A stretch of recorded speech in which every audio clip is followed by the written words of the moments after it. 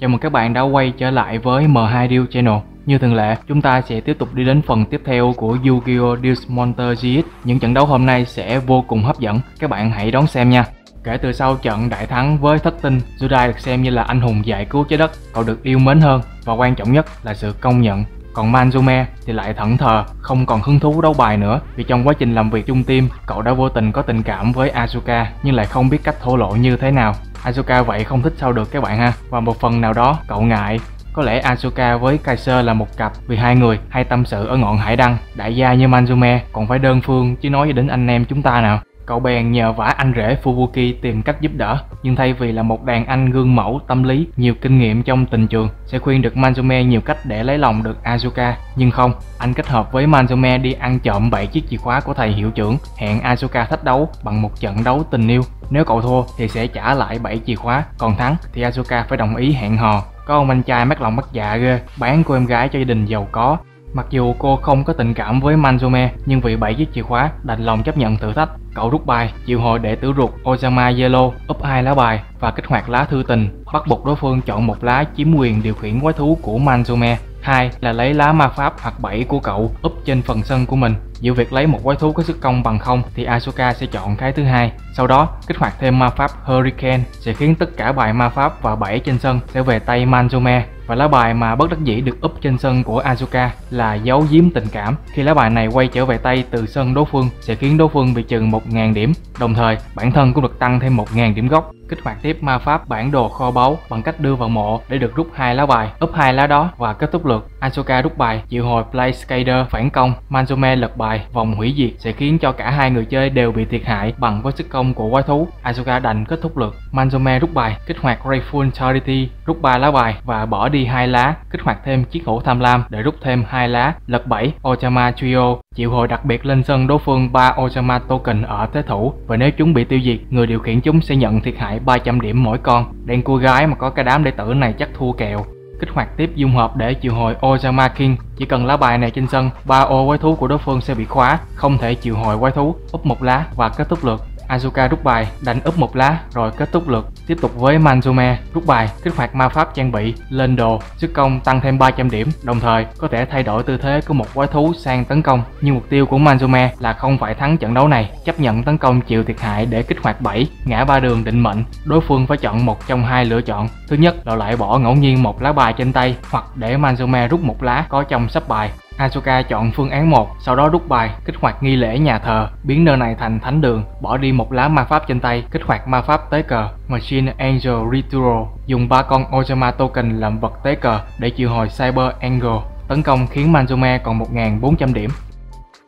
Nhưng khả năng đặc biệt của quái thú này có thể gây thiệt hại điểm gốc cho đối phương bằng với sức thủ của quái thú bị tiêu diệt. Manzume thất tình thua cuộc. Vừa kết thúc trận đấu thì có biến xảy ra, mọi thứ trong khu rừng xáo động lên xuất hiện bảy cục đá sừng sững. Cùng lúc đó, bảy chìa khóa phát sáng lôi kéo Manzume tiến thẳng vào.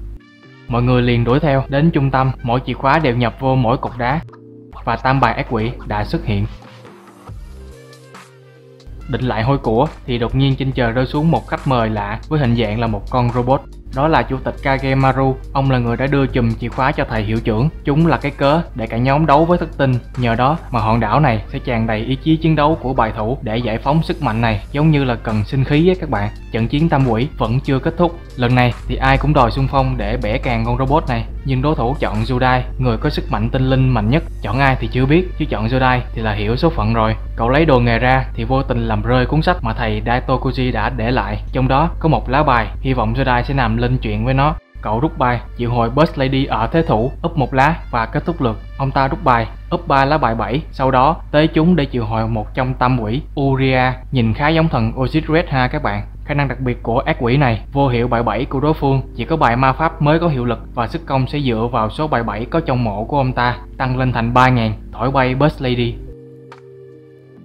Sudai rút bài, triệu hồi Bubbleman, rút thêm hai lá vì không có quái thú nào trên sân, rồi dung hợp cùng với Feederman và Sparkman để triệu hồi Hero Tempest, thêm ma pháp môi trường nhà chọc trời để tăng thêm 1.000 điểm, bắn xuống nước chết con rồng lửa, khiến ông ta còn 3.200 điểm, úp một lá bài và kết thúc lượt. Ông ta rút bài, kích hoạt khả năng đặc biệt của ác quỷ Uria, có thể bỏ bài 7 xuống mộ để hồi sinh một lần nữa, cùng với sức công được gia tăng, phản công khiến Zodai còn 3.800 điểm.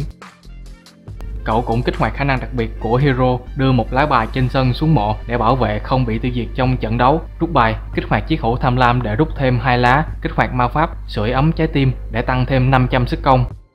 Phản đòn khiến ông ta còn 2.900 điểm.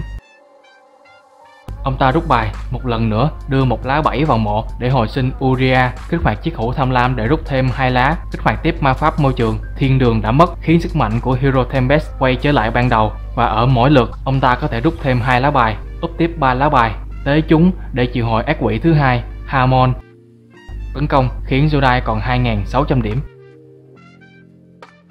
Và khả năng đặc biệt của ác quỷ này, khi tiêu diệt quái thú đối phương, Jodai sẽ phải chịu thêm 1.000 điểm tổn thất đã được 2 phần 3 đoạn đường, chủ tịch câu lạc bộ Gim xuất hiện nguyên hình mà không cần thiết bị hỗ trợ nữa. Những lúc thế này, Yugi Moto ở đâu? Chủ tịch Kaiba ở đâu? Chắc là đi đánh gôn hết rồi. Judai rút bài, chịu hồi Friend Dog ở thế thủ, úp một lá và kết thúc lượt. Lượt đối phương được rút 3 lá bài do tác dụng của ma pháp môi trường, lệnh cho Hamon tấn công trước, khiến Judai còn 600 điểm. Nhưng khi Frendog xuống mộ, cậu được rút một hero và dung hợp có trong mộ Lực tấn công của đối phương vẫn còn cho Uria tấn công để kết thúc trận đấu, nhưng Jolai kịp lật bài The Flu of Summoning Kuribor để triệu hồi đặc biệt Wing Kuribor, khiến lực tấn công này thiệt hại bằng không. Judai rút bài, triệu hồi Bubble được rút thêm hai lá, kích hoạt thêm ma pháp Metamorphosis, hy sinh Bubble để tiến hóa thành Bubble Neo, trang bị thêm Bubble Shot. Mặc dù sức công yếu hơn rất nhiều, nhưng vẫn tiêu diệt được Harmon nhờ khả năng tiêu diệt mọi quái thú khi chiến đấu. Sau đó, tự hủy Bubble Shot để khiến tổng thất bằng không, úp một lá và kết thúc lượt. Lượt đối phương rút ba lá bài nhờ ma pháp môi trường, nung nóng cho Uria tấn công. Judai lật bài ma pháp tức thời, ảo ảnh bong bóng, được phép kích hoạt một lá bài 7 có trên tay. Luật anh hùng thứ nhất năm quyền tự do, cho phép loại bỏ khỏi cuộc chơi 5 lá bài cùng loại trong mộ của đối phương. Vì Uria dựa vào số bài 7 trong mộ, nên Judai chọn 5 lá bài 7 của ông ta, khiến sức công trở về không, phản công ngược lại, khiến ông ta còn 2.100 điểm. Rất tính toán đúng không nào?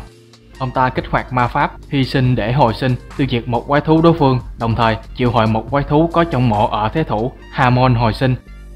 Sau đó, bỏ tiếp một lá bài 7 để hồi sinh tiếp Uria, kích hoạt thêm ma pháp tử đạo của ma quỷ. Khi có Hamon và Uria trên sân, bỏ đi hai lá bài trên tay, rồi có thể triệu hồi ba Phantom Demon để đi ba quái thú này để triệu hồi ác quỷ cuối cùng, Raviel. Cùng xem Judai sẽ đối đầu với ba ác quỷ huyền thoại như thế nào nha. Rút bài, kích hoạt Dark Factory of Mass Production lấy lại hai quái thú thông thường có trong mộ, dung hợp để triệu hồi Flame Windman. Bên cạnh đó, ông ta kích hoạt khả năng đặc biệt của Raviel. Mỗi lần đối phương triệu hồi một quái thú sẽ được triệu hồi một Phantom Demon Token. Với sức công hiện tại thì Jodai chưa thể làm gì được. Lúc này thì linh hồn của thầy Daitokuji hiện ra, nói cậu hãy sử dụng lá bài mà ông ta đã kẹp trong cuốn sách. Nó sẽ cho ba điều ước, chỉ cần nghĩ tới lá bài mà mình mong muốn, nó sẽ đáp lại lời thỉnh cầu. Tuy nhiên, nếu sử dụng lá bài đó thì mất tiêu luôn rồi. Nếu là các bạn trong trường hợp này thì sẽ ước những lá bài nào để có thể lật ngược thế cờ hay bình luận cho tụi mình ở bên dưới nha. Còn đây là cách sử dụng của Judai. Cậu nghĩ tới Fusion Recovery đầu tiên, tuy nhiên khi mỗi lần ước, điểm gốc sẽ bị chia đôi. Đây là điều mà thầy chưa kịp nói. Kích hoạt để lấy lại Sparkman và lá dung hợp, chiều hồi lập tức Shining Flare Windman. Sức công sẽ tăng thêm 300, ứng với mỗi hero có trong mộ. Có tổng cộng 7 hero nên sẽ tăng lên thành 4.600 điểm. Tấn công tiêu diệt được Harmon và khả năng đặc biệt của hero này có thể gây thêm thiệt hại cho đối phương bằng với sức công quái thú bị tiêu diệt.